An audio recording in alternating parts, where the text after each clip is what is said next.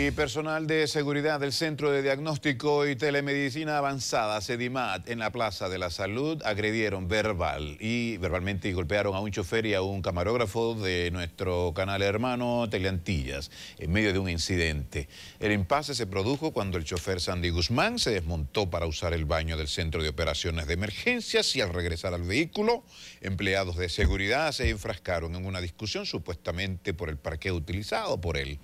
bueno, por el equipo de prensa más bien. Luego le cayeron a golpes a Guzmán e impidieron que el camarógrafo Junior Crisóstomo saliera del vehículo e intentaron quitarle la